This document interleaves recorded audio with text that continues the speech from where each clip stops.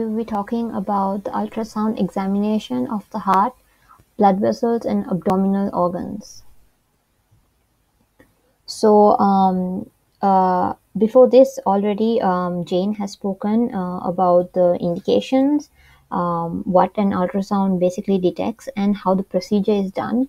So, uh, so as not to repeat what she has said, I'm just going to elaborate on some of her points and uh, yeah and i will be also talking about uh, what the different organs uh, look like during uh, norm and then during pathology and the different positions uh, for that is specific for each ultrasound technique. Starting off we're going to go with the ultrasound of the heart. For ultrasound of the heart you have four different positions. Uh, first of all you have the parasternal long axis. So in the case of parasternal long axis this is what the ultrasound basically looks like. Mm, you have uh, the right ventricle, left ventricle, uh, aorta root, left atrium, and yeah. So this is a uh, just an image, a drawing of how it's supposed to look like. But next we have um, what the what an actual ultrasound will look like. The same image, but with an actual ultrasound. So yeah, this is the pa- parasternal long axis view. Next, we have the parasternal short axis view. So in this view, you can see how the probe, for the ultrasound has changed positions. Uh, and you can see the right ventricle, left ventricle, and the papillary muscles. So this is a different view of the heart. And this is um, the same thing except a real image of it. You get the right ventricle, left ventricle, and papillary muscles. Next, we have the apical view of the heart. Again, the probe has changed its position on the human body and you can see a different view of the heart. Right ventricle, left ventricle, right atrium and left atrium. Moving on, this is an actual image of it. Next, we have the subxiphoid view. Again, the probe has changed positions and you have the right atrium, right ventricle, left atrium and left ventricle. This is a real life image of it. Next we have, I've uh, listed a few pathologies just to see the difference between the norm and the, uh, the pathology specifically. So you have here hypertrophic cardiomyopathy and this is what an ultrasound would look like. Next, uh, there's a presence of a clot in the heart. And next we have a cardiac tam tamponade or uh, when there is pericardial effusion present.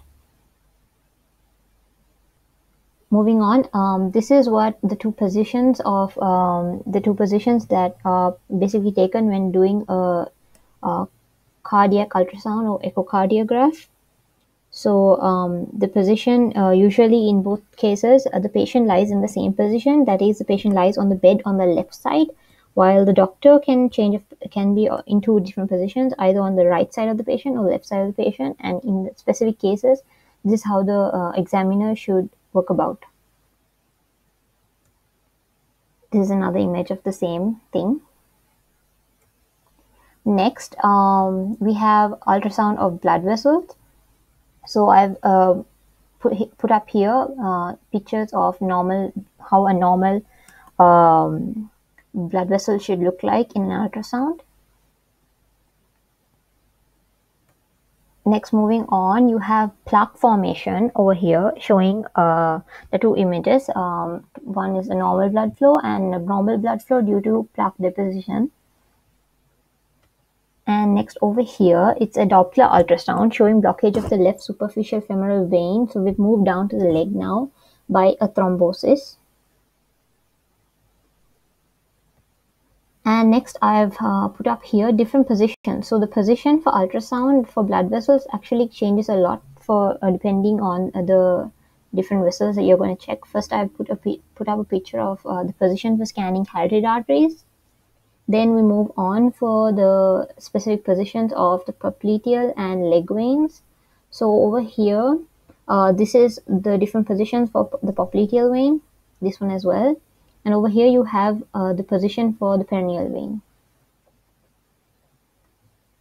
moving on, uh, we're going to talk about the abdominal organs, so abdominal ultrasound. So this is a picture of a normal abdominal ultrasound with the gallbladder and the liver. So here, depending on the position of the probe, the view of the organs changes. Over here, you can see a, a really good picture of the spleen, here liver and gallbladder, here liver and right kidney. Then I've uh, included some pictures of different pathologies. So you have a normal liver and a liver during cirrhosis. Then here we have a normal gallbladder and the formation of a gallstone. And this is a, the picture of a polycystic kidney disease. And this is a normal liver and a fatty liver. So these are the different positions for ultrasound of abdomen and the different positions of the probe depending on what organ you would like to specifically view.